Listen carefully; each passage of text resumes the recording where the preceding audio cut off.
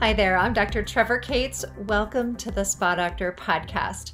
On today's podcast, we're talking about renegade beauty and how to transform the way you think about beauty and your self care routine. My guest is Nadine Artemis, and she is the author of two books, including Renegade Beauty Reveal and Revive Your Natural Radiance, and Holistic Dental Care The Complete Guide to Healthy Teeth and Gums. She is the creator of Living Libations as an innovative aromacologist, developing immune enhancing formulas and medicinal blends for health and wellness. Her healing creations, along with her concept of renegade beauty, encourage effortlessness and inspire people to rethink conventional notions of beauty and wellness. She re- she's received glowing reviews from her for her work, including the Hollywood Reporter, Los Angeles Times, New York Magazine, People, Elle, Natural Health, and the New York Times. In this interview, Nadine shares how to get back to nature and support the microbiomes of our body to help have optimal wellness and natural beauty. So please enjoy this interview. Nadine, it's great to have you on the Spa Doctor podcast. Welcome. Thank you. I'm so happy to be here. So today we're talking about natural radiance. I just love I just love that. And you know, that idea that natural beauty is so much more than what we see physically right? And and what we do as especially as women to to um, for our beauty routine can actually not really enhance beauty in the way that we want right? So i really want to dive into this this topic with you. Yes oh for sure. I mean we've been taught to like primp and preen and poke and pluck and plus put on you know things with plastic in them. And so yeah we definitely need a new relationship with our bodies and a new relationship to understanding what's beauty you know for ourselves. Yeah. So what first of all let's back up for a minute. What got you interested in this? Well i uh, you know as a, as a young child i definitely i had so much experience in nature. So there was that there was this you know the mixing and mashing of things and mud and all of that. And i would even raid my mother's bathroom cabinet and pour her like joy perfume in with probably you know things with skull and crossbones on them i just really love that. But it was really a, a, a, sort of milestone when i was in grade nine i was doing a science fair, uh, fair project and i didn't know what to do it on but i was at the library and a book you know kind of fell out of the shelf and it was about making cosmetics but it was geared towards a younger audience it was really easy to understand. And you know already my being the youngest in the family my bathroom had all the bottle hand me downs from my mother and sister. And i just there was something i really loved about that. And even at that age i was like mixing the perfumes together. I'd gotten away from the skull and crossbones. And um, the chapter on perfumery was fascinating and it really you know, this is before the internet. It really contextualized the history of perfume, where they came from, that it was actually distilled from plants. Because back then it was just that bottle. It had no connection to, well, and really what's in that bottle doesn't really have a connection to plants. Um, so I love that. And it talked about this thing called essential oils, and that that was the modern day word for what they were and you could probably find them at a health food store. So we drove into the big city to the health food store and there i was smelling for the first time like you know the first whiffs of like orange and ylang. And uh, for that project i recreated l'air du temps using natural essential oils and that was really fun. And then we had you know and then i really was into for some reason I had just the bottles. I just and I gave my girlfriends makeovers, or I would crush the white Christian Dior eyeshadow into the Crabtree and Evelyn lip balm, you know. So it's just mixing all the time. And then, you know, the body shop was around and, and I thought, oh, that was natural. But then when I'm off at university, I'm 18 and I'm understanding really for the first time too, like more about food. And I actually skipped school one day and Lisa Bonet was on on a show talking about how food is hooked up to the environment and health and it was just really mind opening because this again this was early on we it's not like it was today.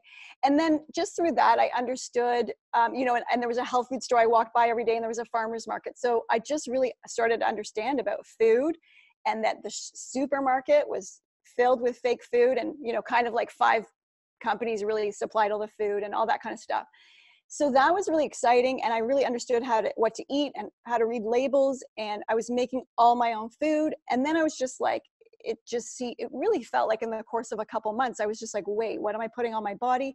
How am i reading those labels? And then really coming to understand that this sort of petroleum promised land of products was just just dressed in like sort of you know the greener label but what was in it was still a lot of bs and so i purged that all and i just really i began making my own you know lip balms and and I put them in recycled like film cases and i was making um, things like waitress legs for all my friends that were waitressing to help with the varicose veins and all of that. And i just found that whole realm so fascinating. So as i was going through university and that, that was nice too because at university i was really you know we had textbooks like our bodies ourselves and understanding like really the crazy history of women's bodies in Western society, you know, uh, or around the globe, and and really cosmetics coming into that, and like reading books like The Beauty Myth, and really just seeing like, you know, the history, especially our modern history of just this century, of, you know, how all of our insecurities have been sort of exacerbated or or you know made up or or whatever to just feed in these cosmetics that were really damaging to us.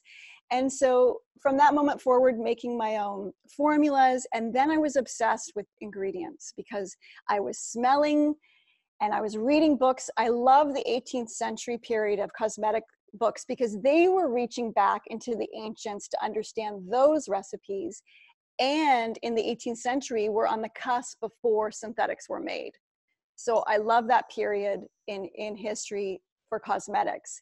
And um, yeah, so I would smell things like Immortelle or Angelica, and I had to find them. So then I wrote letters like crazy because again there was no internet and um, try, you know getting distillers and farmers and then getting in samples and even things that seem commonplace like a tea tree or a bergamot were completely different and really blowing my mind or my nose. And um, then I was understanding about the falseness with essential oils and the food and flavor industry, and that so many of these ingredients were just sort of from warehouses in New Jersey. And so just understanding all the layers. And then um, I graduated, and like six months later, I'd opened up North America's first full concept aromatherapy store and had all my formulas out and uh, and that was the beginning of the present time. mm-hmm. That's fantastic. Yeah. Yeah. And so, I, I mean, I, there are a lot of different uh, parts that you touched on there. There's food, there's essential oils, there's even just how we perceive beauty. I mean, there's, yeah. there's so many different layers to this. I mean, I think let's let's talk about about how we perceive beauty. And I know there's these books that you're talking about, and I remember reading those too. And when the beauty myth came out i remember being fascinated by that yeah. book and and was was so relieved to see that and i think i like i think i was like in I want to say middle school, high school, or something, and I probably high school. And um, but I remember that being so relieved that that book came out because you know here I am at this you know as a teenager looking at magazines and comparing myself and and like you know what is this concept of beauty? What is beautiful? Yeah. Exactly yeah i the same yeah looking at all the magazines i actually would tell people like we got to stop we have to stop you know bringing those images into our brains yeah because of the because of the, the you know the kind of the damage it does and the world of social media where everybody posts their perfect pictures not you know in, in the digital world we get a bad a bad picture we just delete it right we yes have bad pictures anymore we only uh, if only we saw the other 50 shots to get the one. right. I mean, it's, you know, it is definitely something that I think we all know to a certain extent at this point, but it's it's nice nice to have a reminder and that no nice to know that there are other people out there that realize that there's something more to beauty than what you might see in a magazine right yes and also i think when when we're just in the world of surface, because of course it sounds so hallmark or whatever, cliched, like the beauty comes from within. It does, but you know, we're so bombarded with the surface, with the veneer, like to insane amounts, that we really have to like step back and deconstruct that. And also, you know, and and become free of it a bit because you know we're not going to get what we think we want by just focusing on the veneer of it all and um, you know that's like a that's a game that you're not going to win because you'll be 30 and a wrinkle will come you know and then your life's going to be over so we have to get a little more resilient and a little more understanding that, that it's coming from the inside out which again sounds like a cliche and that diet would affect it, but it does. And then also, I think because beauty has so become this thing that's in a bottle, you know, like that's, I feel like it's just as like beauty something that you can shop for and that you'll find the solutions in the bottle, yet it's this sort of dangling carrot on a stick because it's like never fully realized and it's like completely in the realm of like being ideal idealized and so um, when we know it's not coming from a bottle of lifeless liquid of petroleum, you know, I mean, back in the ancient days, or not, well, ancient-ish, um, you know, everything that was applied to the body was like, you know, like tinctured from trees or pressed from petals, and it was real. And perfume was medicine. There's literally like words for that like thymectomy in ancient Greece is literally like letting perfume be your medicine. There was no division because it was seen as one and the same. And in, in many cultures, the perfumists were also the priests, so to speak. They were the medicine people and the religious people. And there was a real understanding that we are a part of the cosmos. So I like to think in terms of cosmoetics which is rejoining ourselves. I mean, we're already we are already a part of creation, but just not having that false separation, and that and just knowing that you know it's it's from the cosmos that we would reveal and revive our inner radiance for example. That's how we're going to get an inner glow you know? And whether it's from the earth where we're eating and then getting the botanicals to put on our skin or engaging with the sun the element of the sun or the element of pure water or fresh air. Like we're you know we're wrapped up in polyester clothing applying petroleum products showering in chlorine and eating gmos and that's not how you're going to be radiant in your when you're 80 right. Or even 30 even yeah exactly. Yeah it's it's catching up with us because we're exposed to these toxins these endocrine disrupting chemicals and other toxic ingredients more now than we ever have been and our air water food and personal care products. So it is it is essential for us and we're starting we really are starting to see it in in uh, our world's health right? The amount of diseases that and the shift and and and these chronic diseases becoming more prevalent like thyroid disease or certain types of cancers and um, obesity diabetes you know these that are a lot of them are associated with these toxic exposures that we have.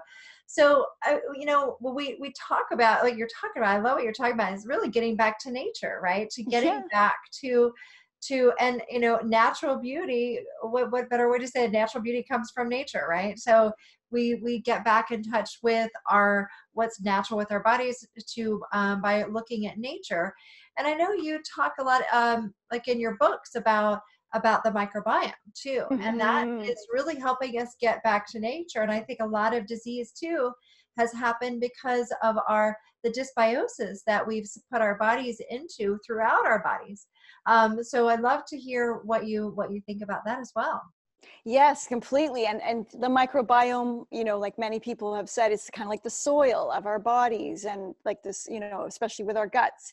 And as you know, we have the gut microbiome, the skin microbiome is a huge microbiome system, the oral microbiome, and for women, the vaginal microbiome is really important to have healthy too. But within all that realm of just what we do for beauty with cosmetics, it can disrupt all of those microbiomes. And um, yeah, as we engage with nature, I like to think of that as like we can step back a bit and we can allow our bodies and our body's natural systems to activate and to take care of us. And we really, even, uh, you know, as a mother, as a woman, as so many women are just, you know, doing it all, we have to really find what nurtures us. And and for me that answer seems to be nature because that's the thing taking care of all of us.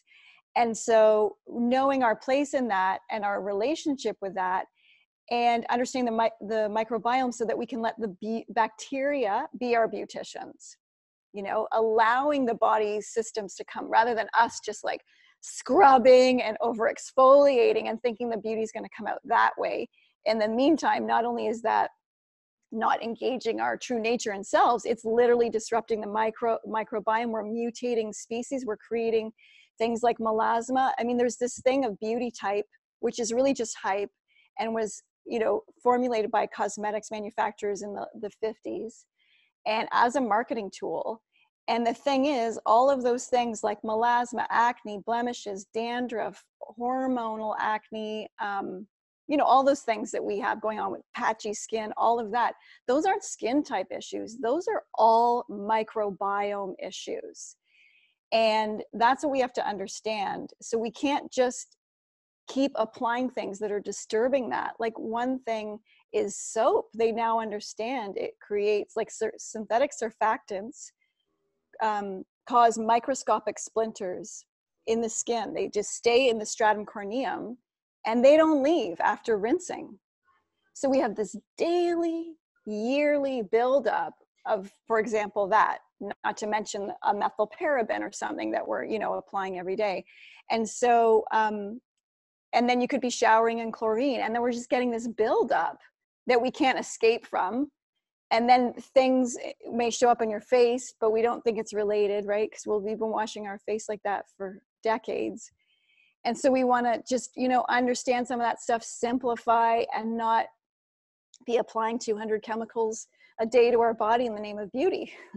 Yeah absolutely so then the next step that a lot of people go to then is is conventional dermatology where they're applying topical steroids they're using or antibiotics yeah. um, birth control pills and and here you're you know you're you're just adding fuel to the fire of of not not not only not addressing the root cause but worsening it when you're ta- especially talking totally. about the microbiome yeah oh my god yeah so anything like you're mentioning the topical cortisones or antibiotics i mean any skin therapy should really keep the skin's microbiome in mind not be further disrupting it. And so yeah a lot of people get in a really vicious cycle of like from their regular beauty routines going haywire going to the dermatologist.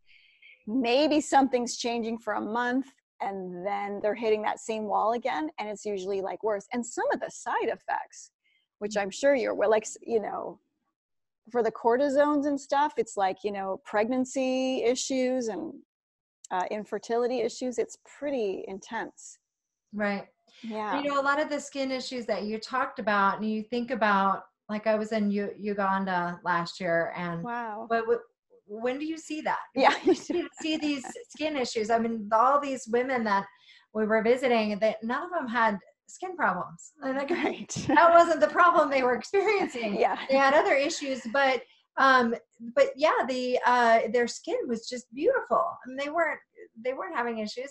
So, I'm sure they weren't applying sunscreen every day either. Right. Well, and you know, it's it's so so we really have created this ourselves. And I even um, I was at a an, an integrative dermatology um, uh, symposium last year, and they were they were talking about how we've created a lot of this stuff ourselves, and that wow, and and that you know, giving antibiotics the way that we've been giving antibiotics and treating our patients, we need to step back and think how can we do things differently? And so it's i think the conversations are are really starting to happen. They're not you know global and huge but they're happening on a small level and so we're starting to see i like to see that there's hope and a, and a shift in the way that we're thinking so um, that's amazing that's but, let's talk about some of the things that people can do to help support their microbiome that um, yeah. that learn that really help.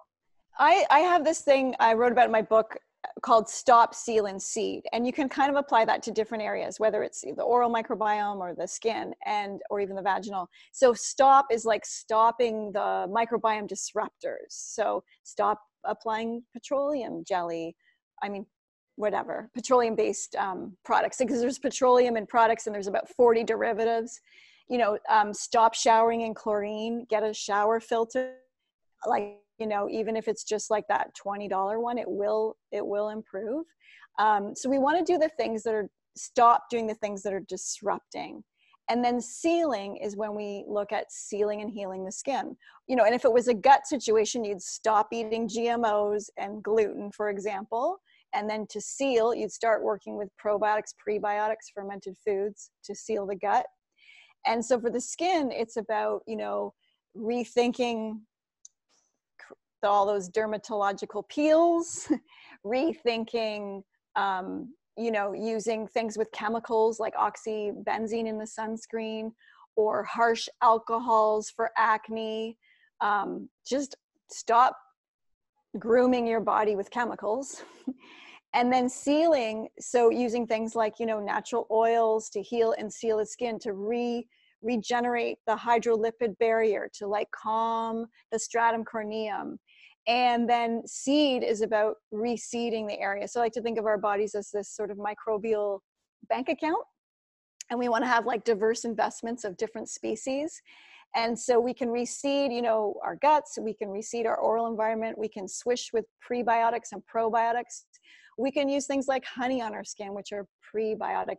You can even add a probiotic to a honey put that on your mask let that sit for a while and then rinse it off. So there's those three things of like stopping the habits that are doing it, sealing, and seeding. Yeah, I love that. And you know, we've been talking a lot in the health world about leaky gut, and now there's some attention talking about leaky skin. And so you're what you're talking about is so important is how do we now now that the damage is done, which really uh, with with you know just typical lifestyle practices that you're going to have damage done so how do we reverse that how do we how do we restore that and heal that to help the body uh, behave the way it's supposed to when it's in a healthy state.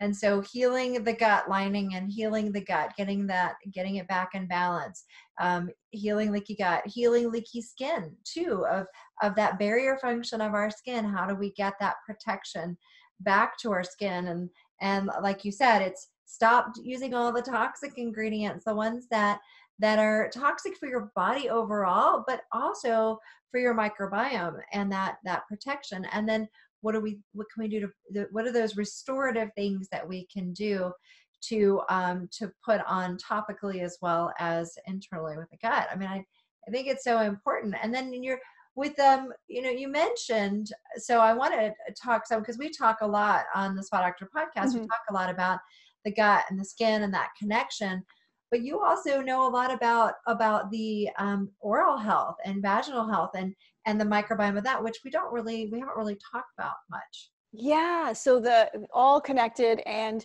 you know the oral and the yoni the vaginal microbiome they have this very thin skin. It's the epithelium and so it's one cell thick. So you know leaky gums i think of as bleeding gums. And that's coming from you know our toothpaste with triclosan, which has been banned in hand soap, mm. not toothpaste. and studies show that in, in the antibacterial hand soap cleanser stuff, it actually, of course, cr- makes your resistance to superbugs lower because it's devastating the microbiome. When your microbiome's your immune system, not the triclosan but anyway um, yeah so we're brushing with all this stuff we're using like al- uh, synthetic alcohol mouthwashes which show to have over 36000 cases of oral cancer a year. Um, you know not to mention you know the foods that we eat that are disruptive or the dental pr- protocols of like you know a root canal or mercury in the mouth. All of that stuff's going to mess with the mouth's microbiome uh, not to mention like an antibiotic mouthwash. And what we're understanding now which is good about we're really understanding antibacterial i mean um, antibiotic resistance. So it's helping us it's you know it's helping the dermatologist go oh wait a minute and it's helping us find other answers. Um, but we also know they're not always that effective and so not all antibiotics can burst through the biofilms. For example um, but for rehealing the mouth, when we look at botanicals and using essential oils and different extracts that we've been using for thousands of years, like tea tree, you know, in different cultures, frankincense, tea tree, neem, myrrh, all of those things, we now have the modern science to understand why those plants have been used. And what they're understanding is that these plants have quorum sensing inhibitors so that they're actually able to suppress the quorum sensing of pathogens pathogens are normally like free floating around the body like plankton and then when they quorum sense that's their way of communicating and then getting in little gangs and then becoming stronger and stronger And then what these plants do are able to do is break up that quorum sensing, not have the gene expression and the communication, and um, they're able to bust through the biofilms. They're able to clean up the pathogens, but work with the friendly bacteria. So they're really some ideal substances for taking care of the mouth. And so then we can understand how they work for the skin as well and so we just have to rethink about how we take care of our mouths but simply just switching to something like baking soda like that alone first you can add some to water and swish get a quick alkalinizing of the mouth and then you can put a little pinch on your um, toothbrush and you do it that way i mean i do make uh, a whole range of oral care products but it's literally you don't have to, have to do that if you just went to baking soda and ditched everything from the drugstore and did that for the rest of your life, maybe use a bit of sea salt sometimes, your mouth would be in just so much better condition. So that's also, we have to know it doesn't have to be that complicated. And it's certainly, again, not caring for a part of our body with chemicals. Yeah. And with the vaginal microbiome, you know, it's it's a similar story. And what we're now understanding is that things like not just a yeast infection, because that could kind of maybe be an obvious example of a microbiome um, off balance but it can uh, a microbiome off balance in that area can lead to things like infertility that could literally be the reason why somebody is experiencing infertility you know it may not be hormonal and that complicated um, or it can create a pre a preterm birth or gum recession and and, and um, a microbiome off balance in the mouth can even lead to a, a premature birth. There's that understanding as well.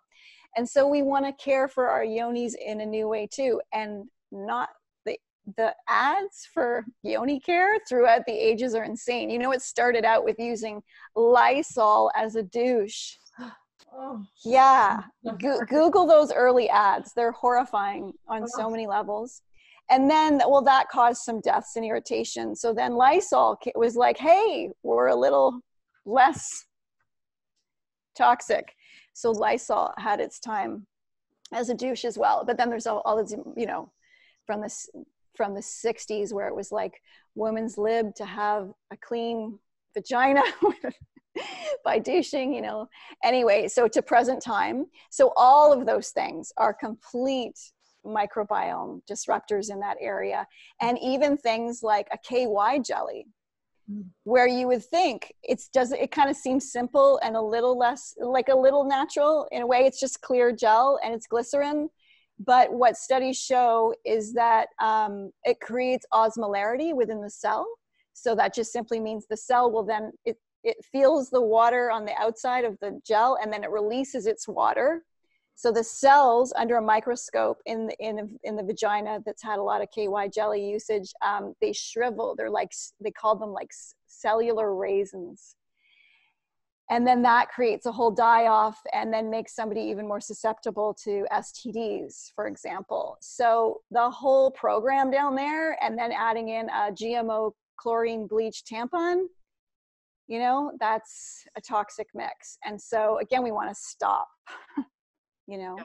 you yeah. know find an organic tampon or whatever and you know I, I actually even advise like if you can just go organic use the underwear or a pad and not put anything up there mm-hmm. you know that's yeah. been made by manufactured yeah yeah well, and there, there are also some natural personal lubricants and different yes. different things that people can use too, so they don't have to use the the KY and yeah, uh, yeah, like coconut oil and even just coconut oil, right? Yeah. yeah. Well, it's you know it's so fascinating. We go on and on on these topics. That you you have a couple of books on these topics. Tell tell everybody about your books and and where they can find them. Yeah, thanks. Well, I wrote uh, holistic dental care, which is uh, all on dental care, and it's it's it's a it's a good friendly read, and it will really give you the kind of the 101 on how to take care of your mouth. And then I, I recently wrote Renegade Beauty, which is um, got everything in there. So you could even start with that because my dental chapter in there is pretty pretty decent and you could just buy the one book but yeah we walk through that and like how to engage with the you know with the cosmos with the elements and then it goes on a journey from you know uh, breast health vaginal care the skin's microbiome a chapter on pregnancy um, chapter on perfumery modern alchemy recipes and then sort of like an eight like renegade beauty solutions which take you through a really quick thing from you know from acne to um, skin brushing like lymph eh, like all the little things at the end to tie it all up i just and that book i really was like wanting to download my whole brain everything i knew so far so yes. that i could share that yeah well thank you for for doing that work and i i do think this is the time for women to reclaim our bodies, our health, and we have a lot of tools and information. We have a lot more available to us than we used to have, and and um, so I I think it's an exciting time with um, a lot of opportunity, and I think we just need to keep demanding more and more of it, and and we'll see we'll see it all unfold. I think it's going to be a beautiful thing to see. For sure. And it is, it's 2019. So it's like, you know, you don't have to give up all the glamour. Like there's so, there's a botanical banquet that's just like waiting for everyone to nurture their bodies, you know? Right. So, like, we're not saying give up self care, right? No. Don't, don't, give up your beauty routine. Just change your beauty routine because yeah. when I think a beauty routine is a beautiful part of, of, of self care and it can be a very self honoring and healthy practice to incorporate. Yeah. And we, when we do it with the things that can nourish ourselves and our microbiome, mm-hmm. you know, then it's so worth it. And essential oils are such a great part of that, right? Yeah, they really can be. You want to definitely have real, genuine, authentic ones. But yeah, I mean, they, there's so many. There's just such a palette of, um, like they're they're all there's they've got all these medicinal aspects, but then they're also just they through their smell they just really talk to all of the senses and work on an emotional, spiritual level as well. All right. Well, that's fantastic. Nadine, thank you so much for coming on the podcast today. Really thank appreciate you. your information and sharing your story with us. Thank you so much. I hope you enjoyed this interview today with Nadine Artemis. And if you want to learn more about her, you can go to thespadoctor.com go to the podcast page with her interview and you'll find all the information and links there. And while you're there, I invite you to join the Spa Doctor community so you don't miss any of our upcoming shows and information. Also, if you haven't gotten your customized skin report, you can go to theskinquiz.com Find out your skin personality type and what information your skin's trying to tell you about your health, what you can do about it at theskinquiz.com. Also, I invite you to join me on social media on Facebook, Twitter, Instagram, YouTube, Pinterest at The Spa Doctor. And join the conversation there, and I'll see you next time on the Spa Doctor podcast.